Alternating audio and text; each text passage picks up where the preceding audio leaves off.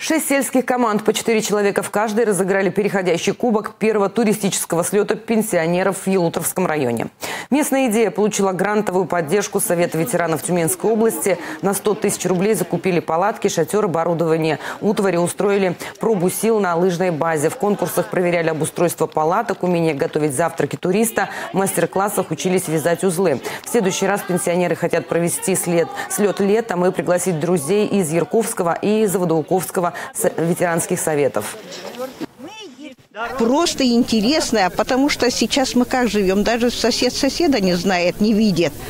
А выйти на природу, пообщаться – это одно удовольствие. И это мы считаем уже походом.